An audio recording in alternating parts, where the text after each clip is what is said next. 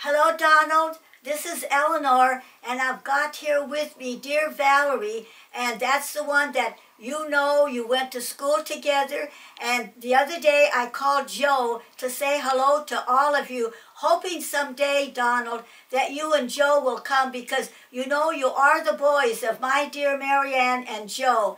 And I hope you come by. And uh, Joe said that he would come by and uh, I hope you do because it'll have a nice visit because we'll visit about the times we I had with Mary Louise and your dad. They were just precious. Of course, we were cousins. So please come. I should have called you too, Donald, but I talked to Joe and he told me all the news with all of you.